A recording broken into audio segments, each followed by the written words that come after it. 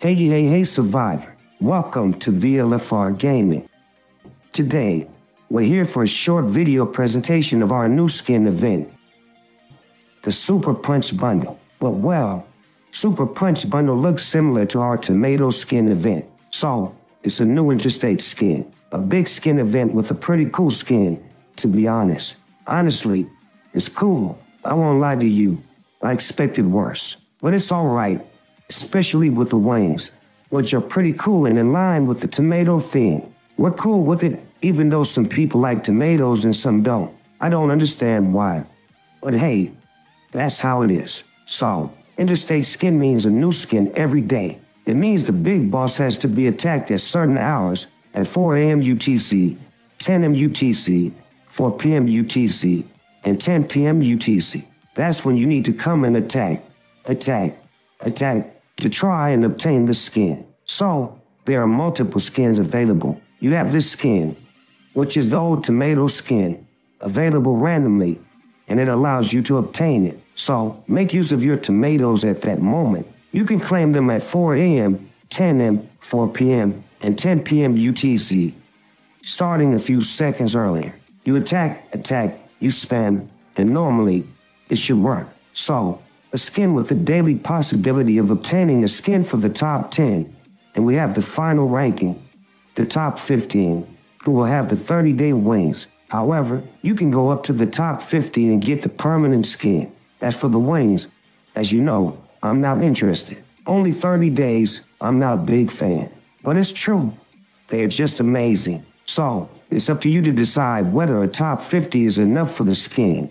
And if you want the wings, you need to be in the top 15. Then, nothing more complicated, nothing simpler.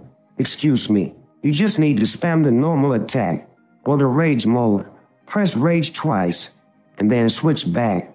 One, two, three on the normal attack and that allows you to have the free attack. It's not unlimited, but you can attack a few times, and all of that is free. As soon as the free attack is canceled, at that moment, you can repeat the switch rage normal, rage normal, and you'll have free attacks again. So, especially don't forget that. It's very, very important. Then, we have the little festival pass, which seems more and more amazing. It includes a full red crystal helicopter plenty of plasma. So, honestly, the festival pass has three tiers where it's just accelerators. SOS didn't know what to put there. But apart from that, for everything else, we take biocaps, plasma, and red crystal. So, don't hesitate to take them. You have the option. Finally, it's been a while since we had an option.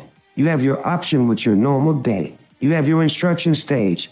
So be careful to make use of red crystal, plasma, T-Rex on the right days, and the rewards haven't changed. It's still the same. Our 100 fragments is not the best event to participate in. You spend a lot. Unlike SVS, where you spend the same and earn a lot more. So, play for the skin. But don't focus too much on the option.